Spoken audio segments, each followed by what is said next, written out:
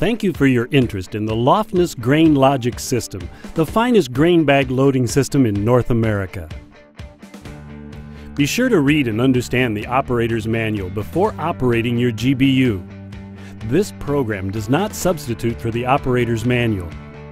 Observe and follow all safety information and safety decals in the owner's manual and on the machine before operating the equipment.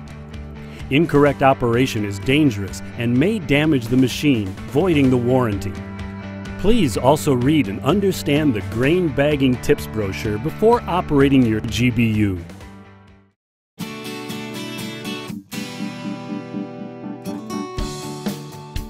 Swing the support arm up and insert the pin into the temporary mounting position. Pull out the spring-loaded locking pin to release the roller. Swing the roller into the operating position. Remove the pin and lower the support arm into its original position. Secure the support arm at the base with the pin and retaining clip. Replace the top pin, securing the roller in the operating position. To lower the bag cutting knife, remove the lower retaining clip and pin.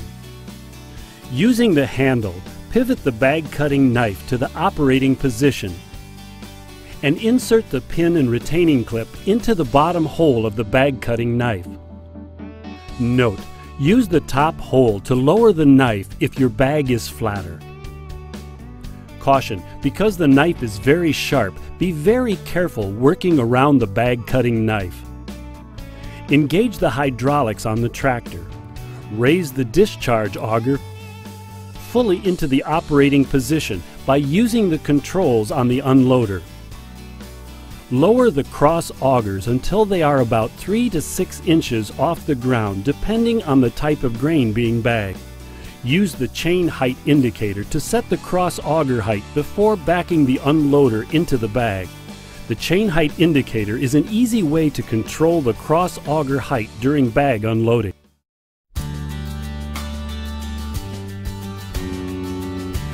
Position an operator to stay with the unloader tractor at all times to start and stop the unloader PTO shaft and steer the unloader into the center of the bag.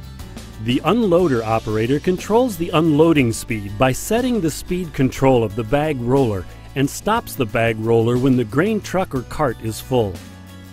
The unloader operator also controls the height of the unloader cross auger to get maximum discharge capacity. The grain truck operator or grain cart tractor driver will keep the cart or truck properly positioned under the unloader discharge auger when loading grain and will determine when the truck or cart is properly loaded.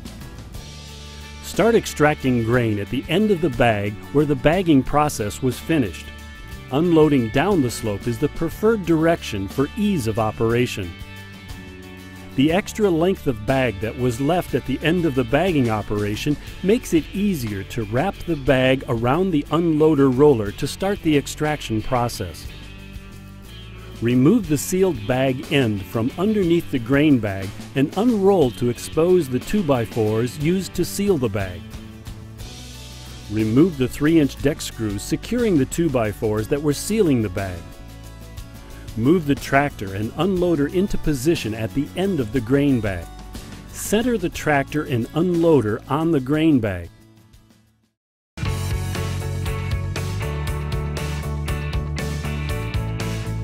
First, make a horizontal cut in the bag approximately 12 inches long towards the top of the bag where the bag is more full but not tight from the weight of the grain.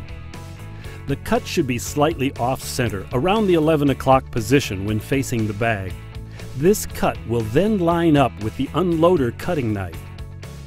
Note, it is important to make the horizontal cut first before any vertical cuts are made or the bag could keep opening completely from being stretched full of grain. Do not make this first cut into the tight or full part of the bag.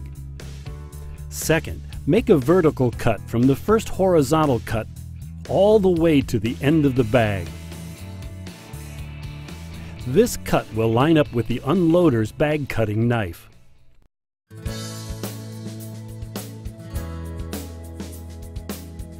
Note, If there is not enough excess grain bag material to attach to the unloader's roller, some grain will need to be extracted manually. Remove enough grain until the bag can be installed onto the roller. Engage the hydraulics on the tractor. Use roller hydraulic control to rotate the roller. Pull the roller control hydraulic handle into the detent position. Rotate the bag roller speed control towards the rabbit indicator to rotate the bag roller faster. Rotate the bag roller until the roller teeth are at the top.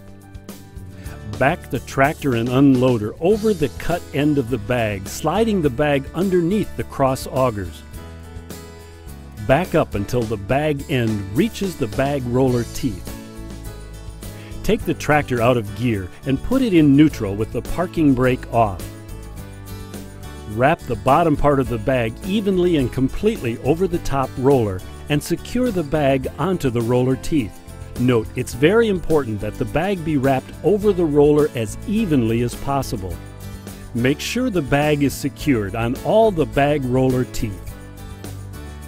Wrap the top flaps of the grain bag over the top roller and secure on the roller teeth. Wind the bag roller about one revolution to ensure that the bag is securely engaged on the bag roller teeth.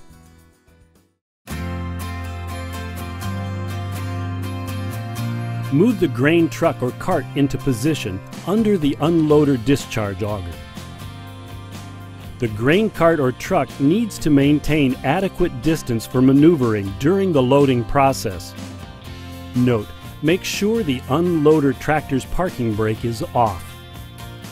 Place the tractor in neutral to allow it to move freely back into the bag. Engage the unloader tractor PTO at a slow speed. When the grain is flowing from the discharge auger, gradually increase the PTO speed until it reaches 540 RPM. Pull the bag roller hydraulic control into the detent position. The bag roller will now start to rotate at a slow speed. Adjust the roller speed faster or slower as necessary for the conditions. Rotate towards rabbit for a faster bag speed or towards turtle if a slower bag speed is desired. To engage the optional auxiliary cross auger, pull the control valve. The bag roller pulls the grain bag unloader and tractor into the bag as it is unloading. The bag cutting knife on the grain bag unloader should be in line with the starting cut on the grain bag. Once the extraction has begun and the grain bag unloader is deeper into the bag, be sure that the bag cutting knife is cutting the bag properly. Adjust the roller speed and the roller height to avoid grain buildup by the roller and the lower mound at the bottom of the bag. The cross auger height should be around 3 to 6 inches above the ground. Note, if the tractor and unloader are not steered back into the bag properly, the cross augers may come into contact with the side of the bag. If this should happen, stop unloading and shift the bag roller hydraulic lever to reverse the bag rotation. Pull the unloader ahead to realign the tractor and unloader with the bag. Then continue to unload the bag, keeping the unloader centered in the bag. During normal unloading, the grain level in the bag should be approximately 12 inches below the bag roller height.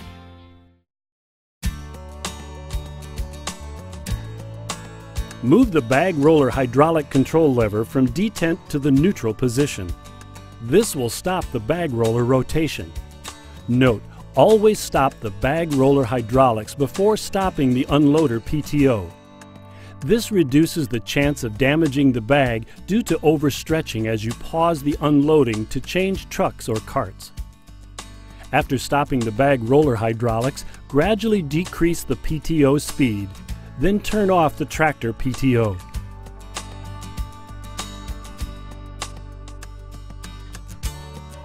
It is important that when you near the end of the grain bag that you have the unloader centered in the bag. Grain can be unloaded until the cross augers touch the end of the grain bag sealing boards. Slow the bag roller speed and lower the cross augers during the last three feet of bag unloading to help in getting the maximum emptying of the bag and reduce cleanup. When done unloading the bag, secure the cutting knife by removing the retaining clip and pin, then using the handle, pivot the bag cutting knife into the storage position and secure it. Note, any remaining grain in the bag will need to be cleaned up by using a loader bucket or grain vacuum.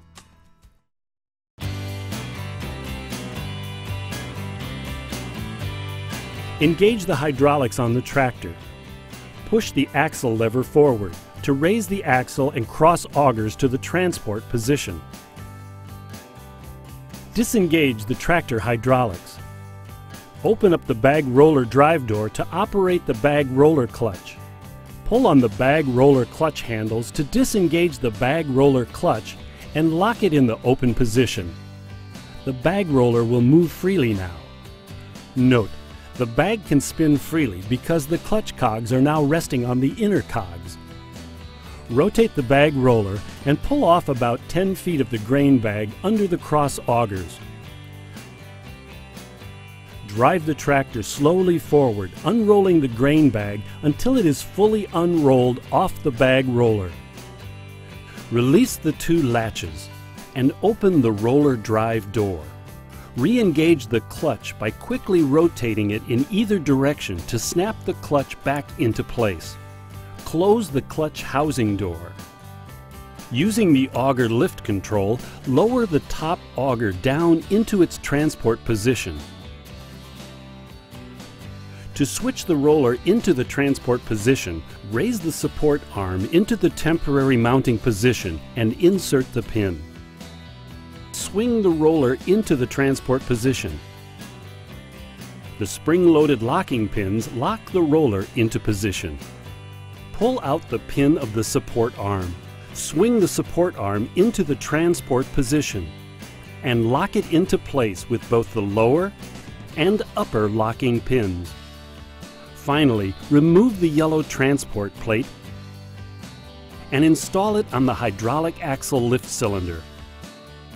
QR codes for the Loftness website and the operator's manual are located on each piece of equipment for your convenience.